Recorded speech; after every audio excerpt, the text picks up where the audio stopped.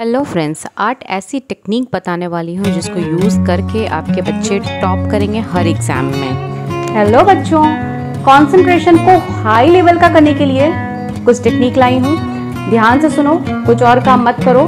Focus करके सुनो मेरी बात को, उसके बाद अप्लाई करना, फिर बताना कि कंसंट्रेशन कितना हाई हुआ है। नंबर वन आप पढ़ाई जब भी शुरू करने के लिए बैठोगे पढ़ाई करने के लिए बैठो अपनी जगह पे, वो जगह बिल्कुल क्लीन होनी चाहिए, बिल्कुल क्लीन कोशिश करो कि लाइट कलर की बेडशीट यूज़ करो या लाइट कलर का टेबल कवर यूज़ करो। नंबर टू जब भी आप पढ़ाई करने के लिए बैठोगे, आप बैठ करके पहले टाइम टेबल बनाओगे। अगर आप टाइम टेबल बना लिया आपने, अगर आप एग्ज़ाम की तैयारी कर रहे हो तो आप एग्ज़ाम टाइम आपका जितना जितना सब्जेक्ट आपको करना है, वो पूरे सब्जेक्ट का टाइम टेबल बनाओ। आज जो चीज़ करनी है, उसका टाइम टेबल बनाओ। बाकायदा बिल्कुल टाइम लिख लिख करके बनाना। हर चीज़ रिटर्न होना चाहिए, ताकि आपका माइंड मेकअप रहे और आपको उबन ना हो। अगर आप बच्चे हो तो पेरेंट्स करें ऐसा। टाइम टेबल बहुत अच्छे से बनाएँ, एक एक चीज़ को ब्रेक करके बनाएँ और हर एक टॉपिक के बाद पाँच मिनट दस मिनट का ब्रेक ज़रूर लें।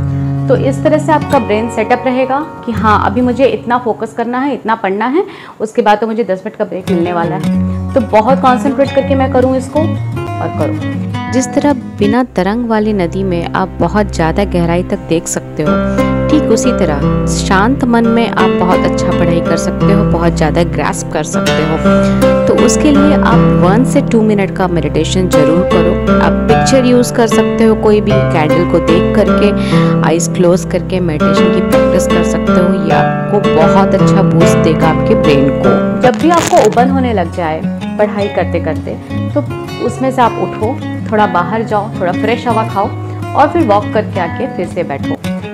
पानी ज़्यादा पीना बहुत ज़रूरी है क्योंकि जब जब आपका वाटर लेवल डाउन जाएगा ऑक्सीजन लेवल बॉडी से कम हो जाएगा और आपका ब्रेन ठीक से काम नहीं करेगा। अपने स्टडी मटेरियल्स को बहुत ही अच्छे से अरेंज करके रखो लाइब्रेरी की तरह ताकि आपको टाइम वेस्ट किए बिना इजीली सब कुछ आपको आसानी से मिल जाए और आप अच्छे से पढ़ाई कर सको। आपके पास ऐसी एक वॉल होनी चाहिए जिसमें आप इतना बड़ा कार्डबोर्ड एक कलरफुल एक चार्ट पेपर से कर पेस्ट करके एक तैयार करके रखो स्टडी टेबल के सामने।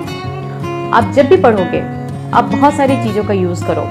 Colourful pencil sticky notes marker highlighter इस तरह की चीज़ें यूज़ करने से आपको कुछ भी अगर याद नहीं हो रहा है तो आप स्टिकी नोट में लिख लो पेस्ट कर दो वॉल पे।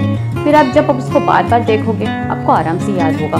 तो आपको इंटरेस्ट आएगा पढ़ने में और आपका कॉन्सेंट्रेशन बना रहेगा। अच्छा इन्वायरमेंट बहुत ज़रूरी होता है कंसंट्रेशन को हाई करने के लिए। तो जहाँ भी बच्चे पढ़ते हैं या जो भी लोग पढ़ते हैं जैसे कि लाइब्रेरी में आपने देखा होगा कि एक माहौल बन जाता है, वहाँ पे जाते ही आप पढ़ने लग जाते हो।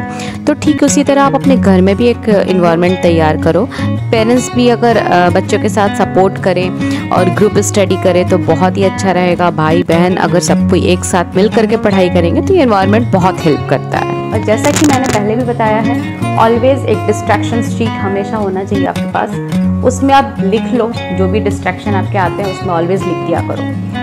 तो ऑलवेज अपने वॉल को यूज़ करो, बहुत सारे मटेरियल को यूज़ करो और अच्छे से पढ़ो। और फिर मुझे बताओ कि आपको कितना बेनिफिट मिला इन सब चीज़ों से। चैनल को सब्सक्राइब ज़रूर करना और थैंक यू आज का मंत्र है म्यूज़िक बहुत ही अच्छा सोर्स होता है माइंड को कंसंट्रेट करने का और कंसंट्रेशन हाई करने का।